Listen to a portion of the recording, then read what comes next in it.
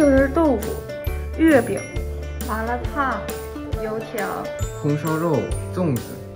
언제 먹는 음식인가요? 당줄, 계란, 설탕, 대초. 추석 때 먹는 음식이에요. 안에는 뭐가 들어있어요? 안에는 견과류하고 코- пельмени, оливье, салат с креветками, блины. 알리비에는 언제 먹는 음식이에요? 크리스마스 때.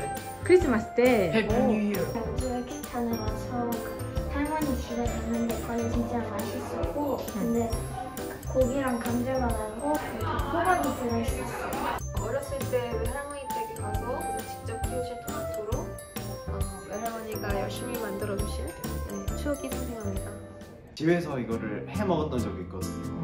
근데 제가 이제 발을 헛디져가지고 그릇이랑 같이 깨버려가지고 아 그래도 뭐 네, 주워 먹었는데 맛있었습니다. 나루토라고 하는 어묵 종류. 고기는 차슈라고 하는 이제 여기 뭐 플러프나 그리고 빵찜 같은 잘 먹어보지 못한 음식들이 굉장히 특별한, 특별한 것 같아요. 진짜 뼈 같고 국물도 진짜 같고 이 살이 너무 잘 표현됐습니다. 어렸을 때 생일이었었는데 친한 형들 집에 가서 같이 먹으면서 즐겁게 놀았던 좋은 기억이 있습니다. 점토를 이용해서 각자 자기 나라의 음식을 만든다는 게 너무 좋았고요. 점토로 이렇게 실제처럼 만들 수 있다는 게 신기했습니다.